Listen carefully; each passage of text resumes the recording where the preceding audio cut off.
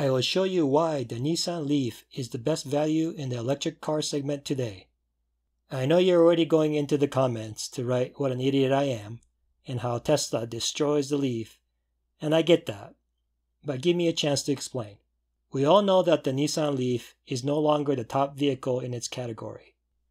There are EVs that get better range, like the Hyundai Kona Electric or the Tesla Model 3.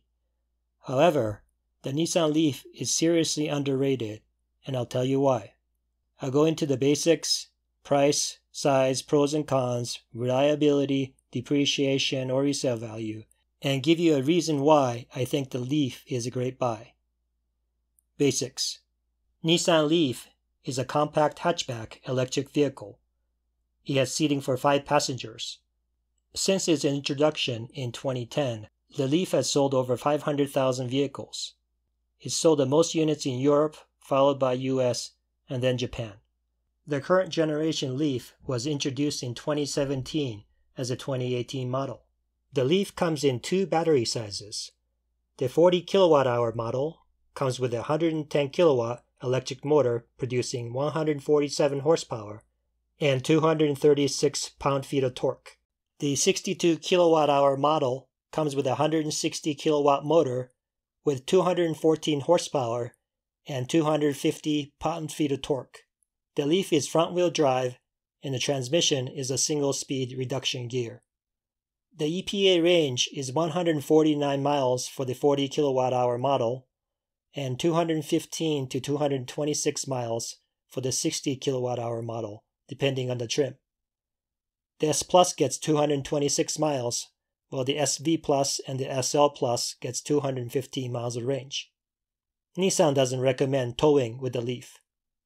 Price The smaller battery Leaf starts at $31,600 and the larger battery one starts at $38,200 and can go up to 43,900. I will talk about pricing a little later in the video because these are not real life prices that you'll pay. Exterior styling. When Nissan redesigned the Leaf in 2017, I think they made it more attractive. It's not quite as funky looking as the original Leaf.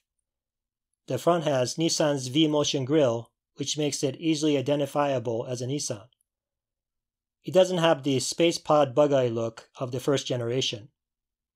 When looking at the side profile, Nissan kept the profile similar to the original.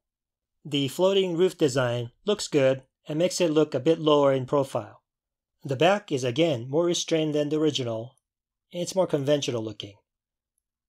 The Leaf is no Nissan Ariya, which looks gorgeous, but it's functional. Interior The Leaf's interior has a familiar look of a Nissan product. It's more conventional with lots of physical controls, which in my book is a plus. It's nice to be able to raise the temperature in the cabin by feeling the buttons without having to go through a touchscreen. The interior won't win any styling awards, but if you care about the ease of use, then the Leaf's conventional controls will be appealing to those who value function over style. Size the Leaf is 176.4 inches long.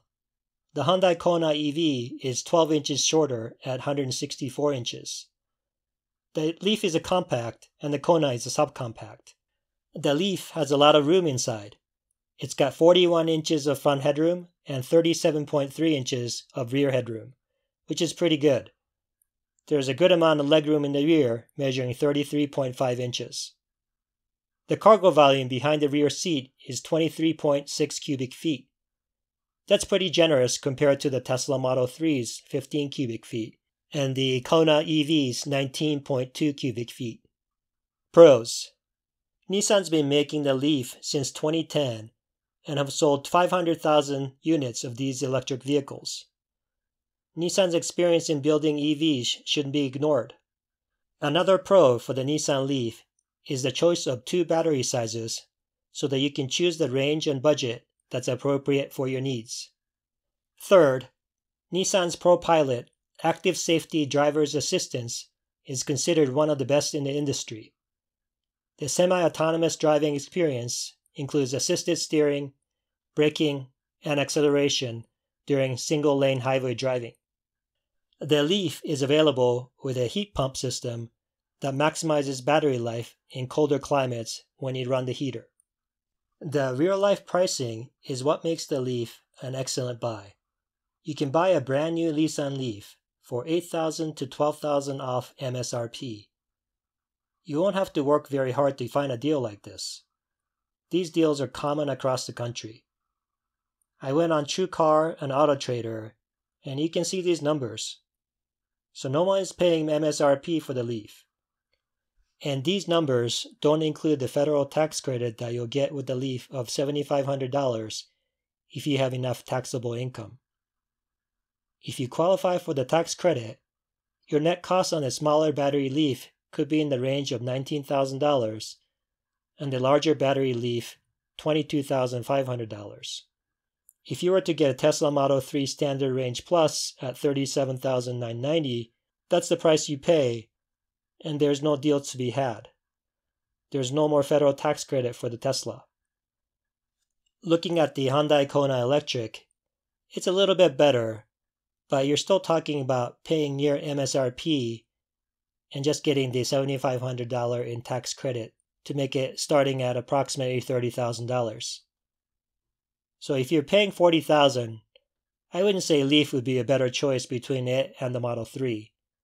But for $17,000 less, I would argue that the Leaf is a better value.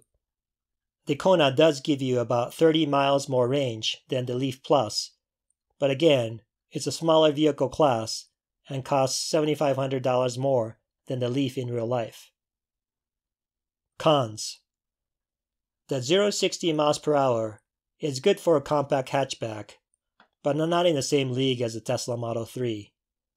The smaller battery Leaf will go from 0 to 60 around 8 seconds, and the larger battery one will do the same in 7 seconds.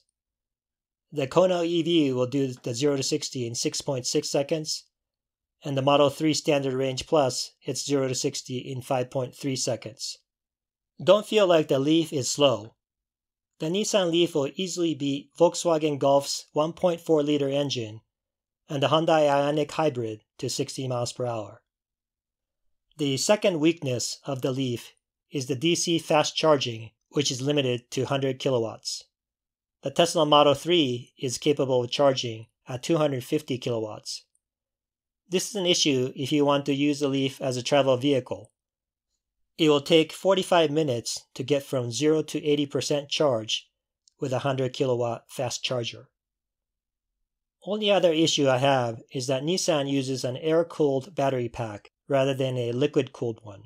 The first two years of the original Leaf had some battery degradation issues. All Leafs from 2015 and beyond have an improved heat resistant battery pack. The degradation issue does not seem to be a problem in all the 2015 and beyond batteries, but just be aware that in theory, a liquid cooled battery pack would provide better thermal management under high heat conditions and may provide a better battery life. Nissan provides a 8-year, 100,000 mile battery warranty, including against capacity loss below 9 bars. The battery starts with 12 bars. Nissan is going to go with a liquid cooled battery pack in the upcoming Ariya. Reliability. According to Consumer Reports, the 2020 Leaf is expected to have average reliability. For your information, that Leaf has had much better than average overall reliability for five of the last six years. With electric cars, they should be simpler to maintain since there's no gasoline engine to service. Depreciation and resale value. This is an area where the great deal you got off of the MSRP can hurt you. The three year expected resale value of the Nissan Leaf is 44.5% of the original price. The five year expected resale value is 38.1% of its MSRP. The seven year expected resale value is 27.4% of MSRP. These numbers are below industry average by about 20%. But remember, you didn't pay sticker price when you bought it. You can make the case that if you paid a net 22500 for the Leaf SV Plus, which sticker is for 40000 then it's worth 15,200 in 5 years. Then doesn't seem so bad, does it? Conclusion Based off of just the listed price, the Nissan Leaf is competitive, but no longer the segment leader that it once dominated. Once you consider the real world pricing and the fact that the Leaf is a good EV overall, I think it's worthy of your consideration if you want to buy an electric or want a vehicle that outperforms most gasoline engine compact hatchbacks in performance. Thanks for watching, and we'll see you in the next video.